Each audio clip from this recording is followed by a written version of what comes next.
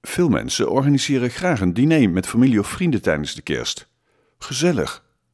Maar voor mensen met autisme is dat niet zo gezellig en kan zo'n diner zeer stressvol zijn. Hier volgen 5 tips voor een kerstdiner zonder stress. Tip 1. Maak een tafelschikking. Bespreek samen met de persoon met autisme wie waar zit. Tip 2. Spreek duidelijk af hoe laat het diner begint en afloopt. Voor mensen met autisme is dat heerlijk om te weten. Tip 3. Schrijf dinerkaartjes met erop de namen van gerechten of een foto.